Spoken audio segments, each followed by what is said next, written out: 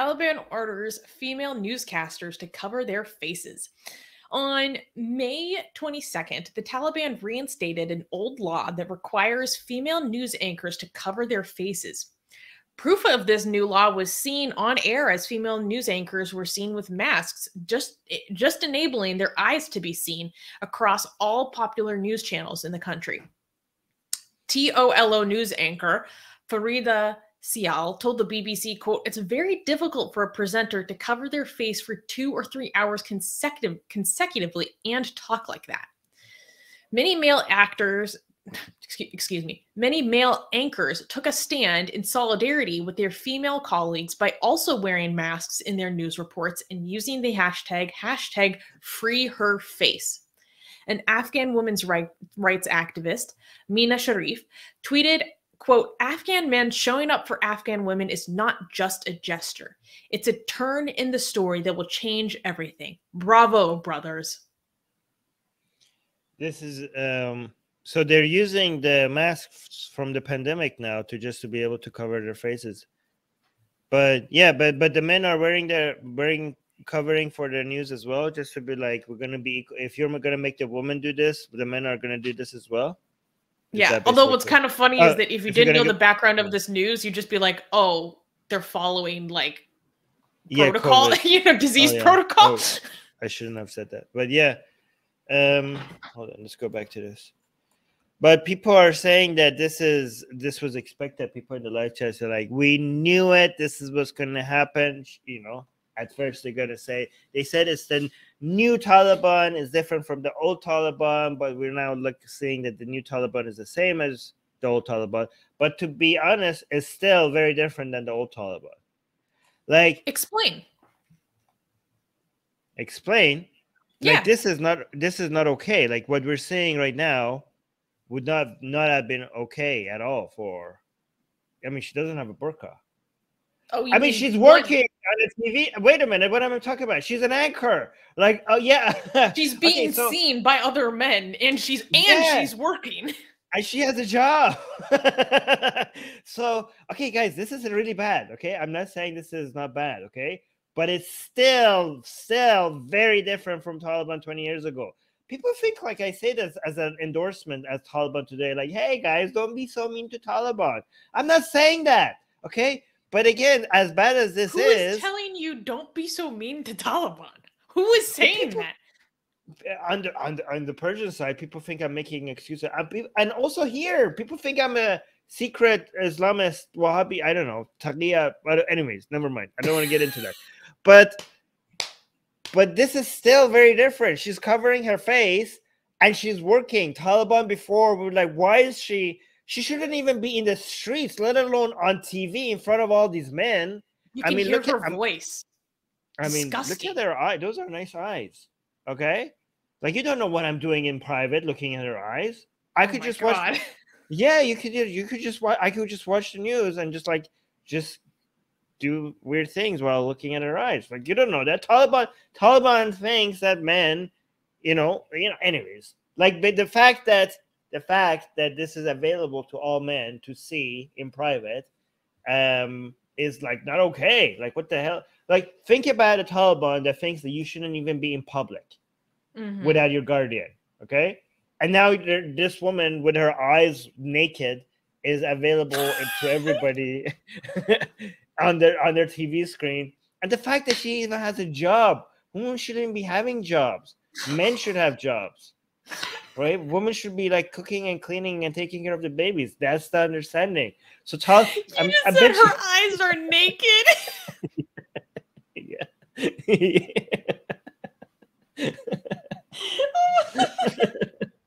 I'm I'm giving you. I'm trying to. I'm trying to put perspe- uh, the Taliban perspective for you. Like, right? I'm just. That's the point of burqa. I know. You, if, the burqa makes it so that you can't even see her eyes. I mean, look, she like like she obviously this is not like she takes care of it. Like this is like has makeup and everything. She has mm-hmm. lashes and like yeah, plucks her eyebrows and stuff. So that's like, you know, for some people that's good enough. And Taliban knows that. Um yeah, I mean I, I bet you there's a lot of Taliban people um, that can't believe that you know we're like a lot of people like like oh my god they're making you cover their faces. But i bet you i bet you there's a lot of taliban people uh, that think like wait we're letting them have a job and they still think we're being excessive? Like like mm-hmm. they're shocked from the other direction. They're like are they serious? Like the fact that we're not stoning them already uh, is like we're being so tolerant like we no, I'm I'm I'm exaggerating with the stoning. Okay, that was an. What more could you ask from us? What more could you ask for? The woman, like we're like being so we're getting attacked by our own people for being so liberal that are letting women have a job, and you're telling us that we can't even get them to cover their faces. Like the audacity of you guys. Like that's what they're thinking. Mm-hmm. Mm-hmm. mm-hmm. so, yeah. anyways. Yeah, I mean, no, I I understand what you mean. This is a funny comment. Mogambo is saying relatively progressive Taliban. too progressive. That's Guys, really what is, it is. This is too progressive for a lot of their members. This is way too progressive. That's why lot, some of them are leaving Taliban. They're like, this is not what we fought for. We gave martyrs. We we gave martyrs to bring Islamic law, and you're letting women have a job and so Taliban is like worried about their people within them, like leaving and joining um, ISIS K, right? Like, so they have to be like, how do we liberalize um, to the extent where the international community gives us recognizes us, so we can finally start trading and make some money, but not liberalize too far for our own members to turn back against us and to uh, for Taliban to break from apart from within. So they're in a dilemma right now. This is like, oof. Here's the thing: I don't think there's any way to have both. No. There is no way to have an equilibrium that will meet the standards of both. It's impossible. Okay, somebody said woke Taliban, and then like woke Wokiban. this is the Wokistani Mujahideen we've been talking about, Armin. Yeah. oh, oh Dornavhead has a good comment here in the tweet as well. Dornavhead is saying, Taliban, we fought, we fought to give everyone a terrible life. This isn't what we signed up for. this is not terrible life. This is, yeah, anyways. So crazy. Well, I mean, okay, so we've kind of seen things go on a downward, by our standards, downward decline. What do you think we're going to see moving forward? Oh, it's going to it might get a lot worse. It, it, okay, so we have reason, new reports that Taliban is back at it with working directly with Al Qaeda. So that's Uh-oh. yeah. So that's like uh oh, Habibi. Yeah, yeah. So here's it. There might end up in a cycle. So all of this is going to lead to poverty, and poverty is going to lead to more radicalization, and then we're going to enter to this into that cycle. So and that's a down you know and and the problem is that that cycle may might end up breaking the fabric of how society works. And that will the the the what what every what everybody is trying to avoid is a failed state. You know what i mean? And you know 10 years down the road you know nobody wants to see that. Not not, not the international community doesn't want to see that uh, Taliban doesn't want to see that, and most importantly, the neighbors of Afghanistan doesn't want don't want to see that. Oh, and also Russia and China don't want. This is something that maybe China, Russia, and United States can can agree on. Nobody wants to see a failed state in Afghanistan. But do you think anyways, they would even? Part of me thinks maybe they wouldn't even let it get that far. Like yeah, I don't even think that. I don't. I don't even think they would let that happen.